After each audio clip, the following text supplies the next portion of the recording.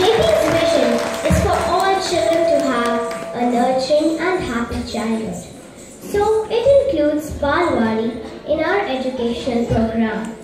JP tries to promote overall growth and development of children in Balwari.